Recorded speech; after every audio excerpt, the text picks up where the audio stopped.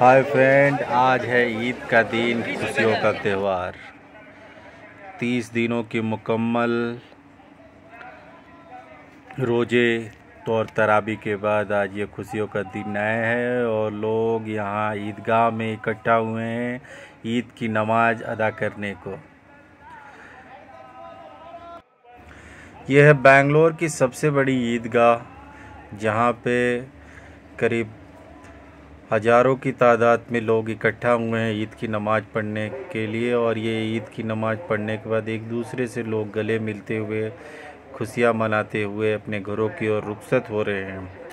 तो health tour fun blog की तरफ़ से आप सभी को ईद की मुबारकबाद देता हूँ और उम्मीद करता हूँ कि ये खुशियों भरा माहौल हमेशा इसी बने रहे और भाईचारा बना रहे। सो so, मिलते हैं अगले ब्लॉग में, जहाँ पर मिलेंगे नए नए लोकेशन में, क्योंकि ईद की वजह से ज़्यादा ब्लॉग बना नहीं पाया था।